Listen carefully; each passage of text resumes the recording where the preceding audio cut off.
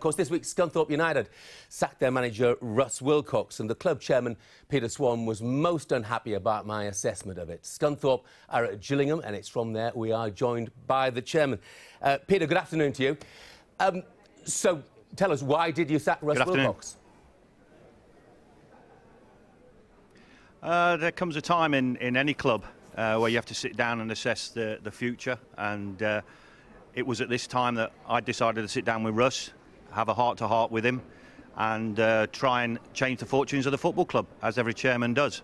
And uh, it's always difficult, especially with people that you care about. And he is a friend, still a friend. And those decisions are the, most difficult to make, I think, for a chairman. And sometimes when uh, comments are thrown at us, um, they are sometimes hard to take. We understand it's a harsh and very hard environment in football, um, but there's a limit to that. And, and, and I didn't like the way that you worded the comments in your piece. Hmm. But, but do you see, Peter, from an outsider's perspective, and I made it clear I was an outsider and I don't understand, don't know the goings on in there. This is a man who set a world record last season for you. He got the club promotion as well. He was voted LMA Manager of the Year and received a Special Merit Award. Did that not earn him any extra time? Absolutely, anybody would take those into consideration. But what you've got to remember is that when you make a comment like that and you make it in the press, that it's got to be substantiated. And, you know, I'll take you back a little, a little way to the Tony Pulis matter, Jeff, was where you said that you couldn't really blame or, or, or discuss either side of the argument and, and, know what was going on because you didn't know the ins and outs. So you weren't going to comment. And all of a sudden you were comment, commenting on Scunthorpe, who actually you don't know nothing about. You know nothing about me, Russ, whatever we did behind those doors. There's no negative press at all about this split. It's a very amicable, professional and dignified split. The only undignified thing was the comments that you made, the, the shamefulness about the situation and the fact that I didn't respect Russ. You know, those statements you make go out publicly and it makes the club and myself look bad when actually we've handled this situation really, really well. Yeah, but that's, you know, because it was an opinion piece uh, Peter, we're paid to give our opinions, and you must understand, surely, that from the outside, 11 games for a man like that, who served the club as a player for six years, he served the club as assistant manager, as caretaker manager, as full-time manager as well. You must understand that people outside will look upon it as being a really harsh decision. Is that not something you accept?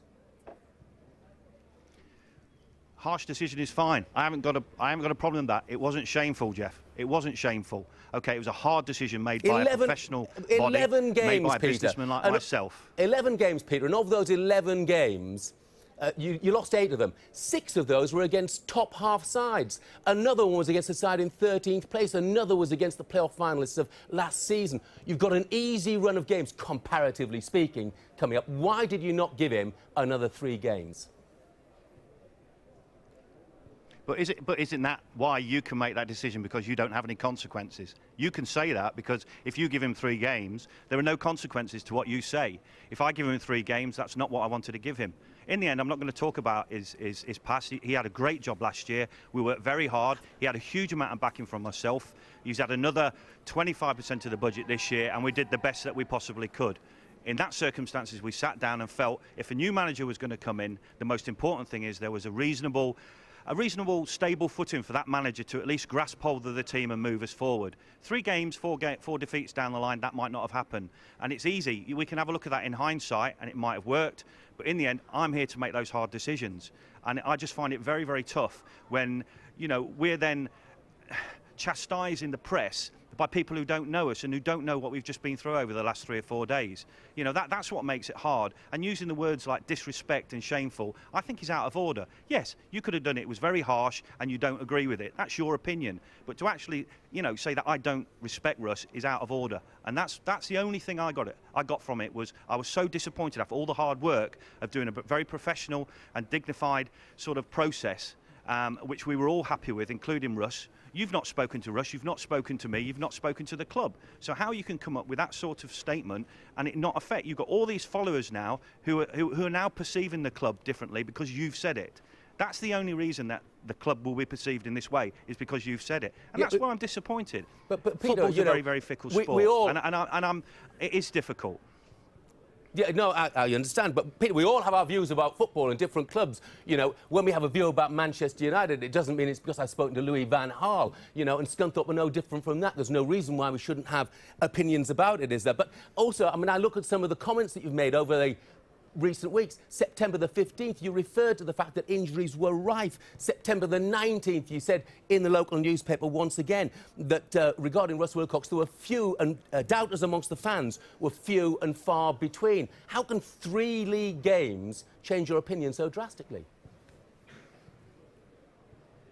So what should I do then? Should I should I go and vilify him in the press, or should I actually back my manager 100% until the very last moment? That's what I've done. I've completely backed him financially. I've worked very, very hard to try and make it work for him. And certainly over the last three or four weeks, I've done that. And, and I believe I've done everything and the club has done everything to try and get us out of this position. And, uh, you know, in the end, yes, it is harsh, but that's all it is you know, the words that you use, I didn't, I didn't enjoy. And that, that's the reason I, I, I, tweeted you. That's the reason I've come on here, is I don't believe that you have the right to call it shameless or disrespectful. If you call it harsh, I totally agree with you. Football's harsh. It's a fickle sport. People go after three or four games. People go after less. You know, Russ has been here for 10 months. The last 16 games have got 13 points. Okay, I have to look at that as well. Yeah, but equally, last season you went 28 games unbeaten and he got you to a higher level. Um, can, can I ask you, Peter, when did you decide to sack him? Was it immediately after the game?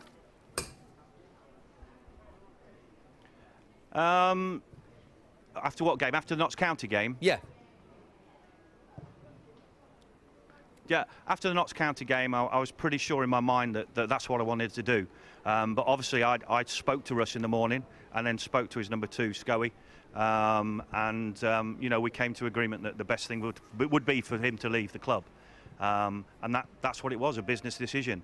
But there's nothing else in the press there. I have there is nothing in the press where I've vilified him at any stage. I have supported him 100%, and if you talk, talk to him, he'll tell you that as well. No, no, and, and to defend myself, I at no stage suggested that you'd vilified him at any time at all.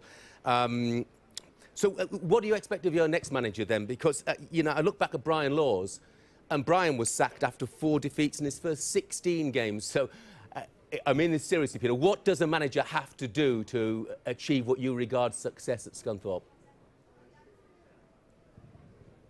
It's really difficult, isn't it? You know, to be honest about it and, and try and be positive.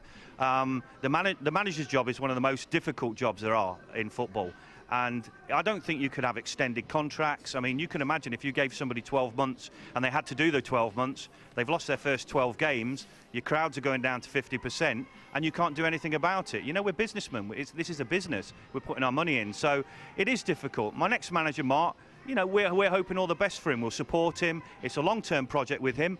You know, he, he's got a long, a long contract there and we're going to do it. We're going to use him, obviously, to take us into the new stadium. And uh, you know, he's got the experience to take us out of the bottom four. Um, you know, I've had a good chat to him. We get on. We know where we're going to go, and that all I can do is focus on that. I can't tell you what's going to happen in 12 months, 16 months' time. You know, I've been at this club for 18 months. I've come in. I've tried to change the philosophy. I've done that now. And even though we're a small club, you know, I, I do believe that we deserve the chance to improve ourselves, and that's what we're doing by moving into a new stadium. And all that is being financed by myself. So when you look at it, you know, those finite decisions have to be made by me. I cannot look back and say, I should have done this or I should have done that. As a chairman, I have to say, this is the decision, I move on. Now I make the most of it. OK, Peter, look, uh, shall we agree on harsh rather than shameful? if you take them out, and, if you take those two words out and disrespectful, and you say it's hard done by and you don't agree with it, I'm happy with that. It isn't a problem. I just felt it was a little bit harsh on the club and myself, uh, you know, in, in that sort of terminology. OK, we'll take them out and replace them with harsh. Look, Peter, thanks very much indeed for joining us. No, pleasure. Thank you. Thank you for letting me uh, ask a few questions. OK.